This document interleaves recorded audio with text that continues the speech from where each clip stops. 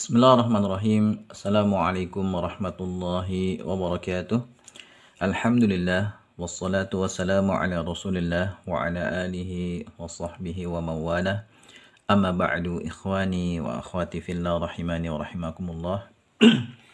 Insyaallah taala pada kesempatan kali ini kita akan lanjutkan kembali ya pelajaran bahasa Arab kita dari buku belajar menyusun kalimat dan cerita pendek sederhana dalam bahasa Arab. Kita sekarang sudah sampai pada ya bagian kelima buku ini dan kita akan bahas bab satu tentang isim mabni dan isim mu'rab ya. Saya harap antum sudah menyimak audionya ya yang sudah di-share di Telegram dan antum baca e-booknya yang sudah di-share juga di Telegram ya.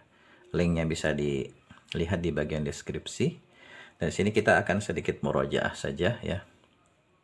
Pembahasan kita tentang isim mabni dan isim mu'rab. Jadi isim ya jika ditinjau dari perubahan harokat akhirnya ketika sudah dimasukkan ke dalam kalimat itu nanti dikelompokkan menjadi dua. Yang pertama namanya isim mabniyun.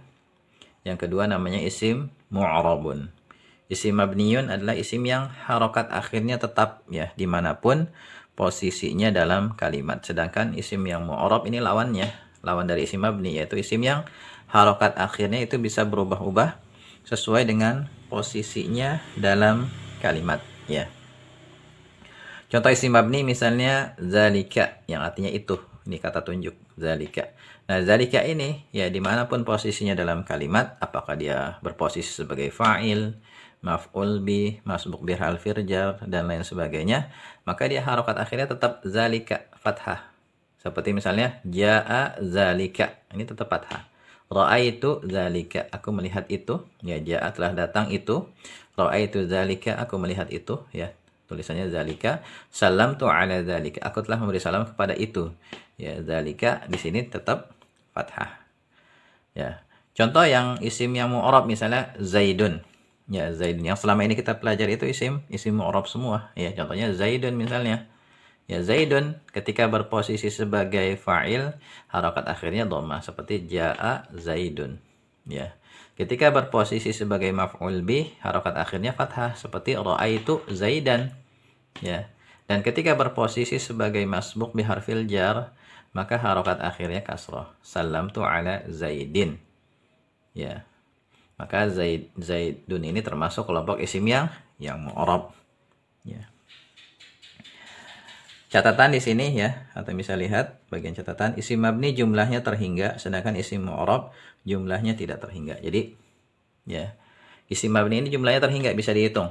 Ya, sedangkan isim mu'rab tidak terhingga. Ya, makanya kalau kita ingin bisa membedakan mana yang mabni, mana yang mu'rab nanti hafalin semua isim-isim yang yang mabni itu dihafalin. Ya. Kemudian yang kedua, untuk bisa membedakan isim mabni dan isim mu'rab harus dihafalkan terlebih dahulu semua isim yang mabni ya. Tadi yang sudah saya sampaikan. Ya. Jadi pegangan kita nanti isim mabni. Kita hafalin dulu baru nanti kita bisa mengenal mana yang mabni, mana yang mu'rab atau bisa membedakan mana yang mabni dan mana yang mu'rab. Kemudian ketiga, selain isim mabni bisa dikatakan isim mu'rab. Jadi ya untuk di buku ini kita hafalkan isim mabni. Berarti selain dari mabni kita katakan dia mu'rab. Ya gitu aja gampangnya. Yang keempat, di antara isim mabni yang populer adalah isim isyarat dan isim bomir. Ya, isim mabni ini nanti ya bisa dikelompokkan menjadi beberapa kelompok, sekitar 13 kelompok. Ya, dan ada dua yang paling populer, sering dijumpai ya dalam tulisan-tulisan berbahasa Arab, yaitu kata tunjuk dan kata ganti. Ya, insya Allah akan kita bahas setelah ini. Jadi ini ya istilah mabni dan mu'rab. Semoga bermanfaat. Assalamualaikum warahmatullahi wabarakatuh.